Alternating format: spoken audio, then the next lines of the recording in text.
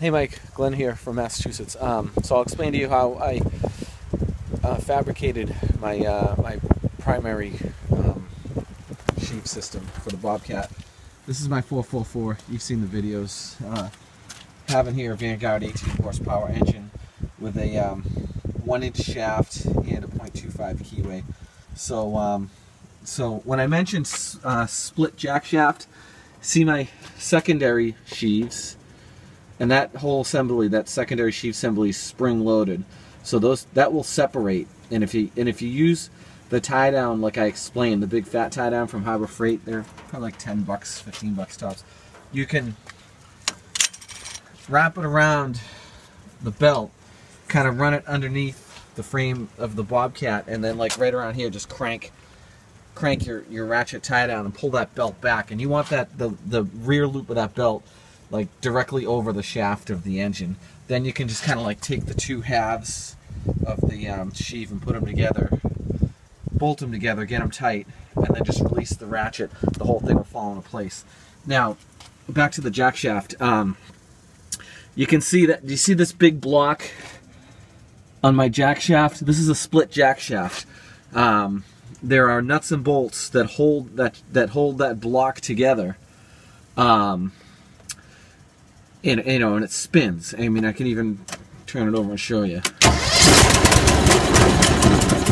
So um, that's a split jack shaft, and the purpose of that is so that you can get your belt on and off easily. Some of the old Melroes don't have that, so what you have to do is just take off your covers on both sides, um, loosen up the collars, and then tap the jack shaft out, and then slip the belt on that way and then and then bring it around. It's a little more work, but I'll tell you, if you're leaking at all from these jack shaft bearings, which some of the old machines do, um, Loader Parts Source online has the jack shaft uh, bearing assembly for like they're 50 bucks a side, and it was worth every penny because I've, I've, cured that leak, and it was a pretty significant leak.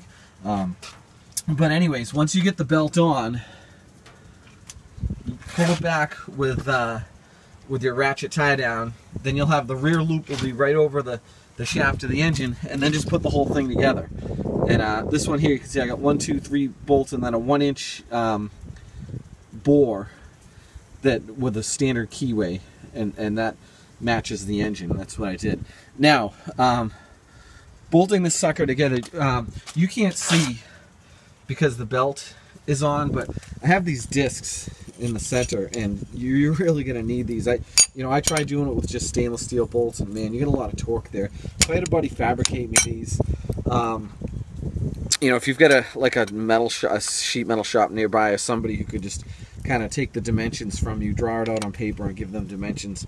You know, I made the bore a little bit uh, wider, and then you know these half-inch holes, and he did those a little wider than the half inch, you know, just to accommodate.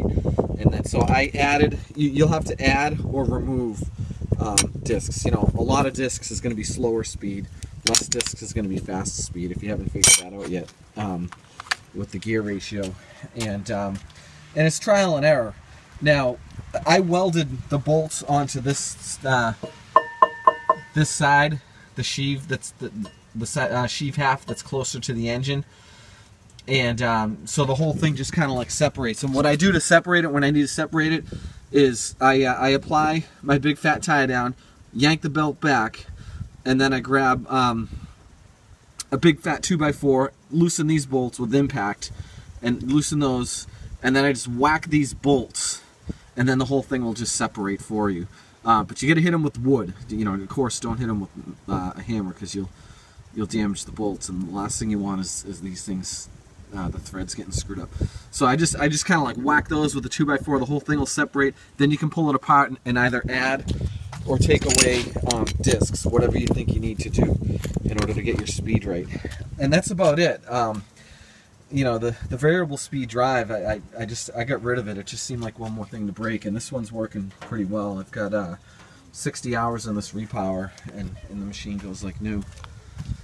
So, it's my 444 some of the work I've gotten done with her and uh, more materials to spread. So good luck to you and, and let me know if you have any problems. I'll, you know, I'll do what I can to help. Thanks.